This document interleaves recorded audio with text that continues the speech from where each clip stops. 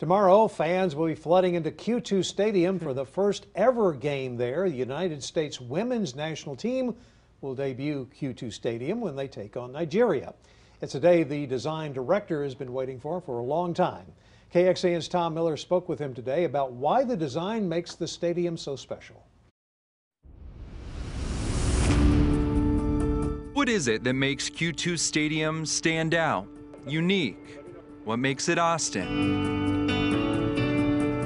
The design process started in 2017 and was the vision of this man. What is it about Q2 that's special? We have really tried to focus on creating a design that is of Austin and for Austin and really sort of speaks to the community and the, and the, and, and the fan base. Gensler design director Jonathan Emmett says that includes an open, inviting, and casual atmosphere, green spaces, and seats, and a focus on embracing the outdoors.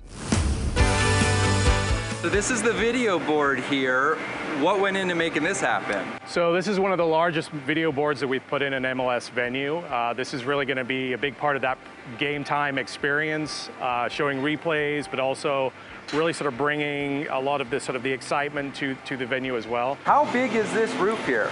So the roof uh, is 200,000 square feet. Principal engineer Mark Wagner says the roof is the second largest in Major League Soccer and a key feature with multiple purposes. It's two things. It's the combination of, of shade and the breezes that you feel right now blowing through the stadium from the open corners of the stadium. Those two things make a huge difference in keeping someone cool while they're watching a game. Built in seven months and extending 14 feet over the field, the metal roof was first created in a computer model.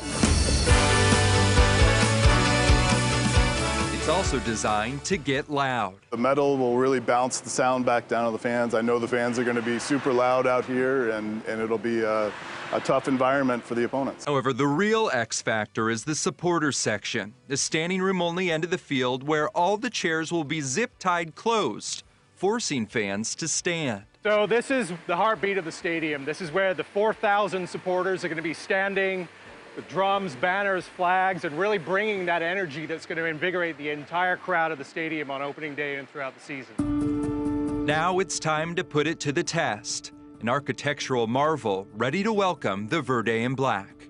In Austin, Tom Miller, KXAN News. Austin FC is coming home for that inaugural game at Q2 Stadium. The CW Austin and KXAN is your place to see it. Join us Saturday evening for an hour-long special, pre-game special edition of KXAN News right here on the CW, followed by the matchup against the San Jose Quakes. And if you're going to the game, stop by our KXAN tent at Q2 Stadium. We'd love to say hi and meet you.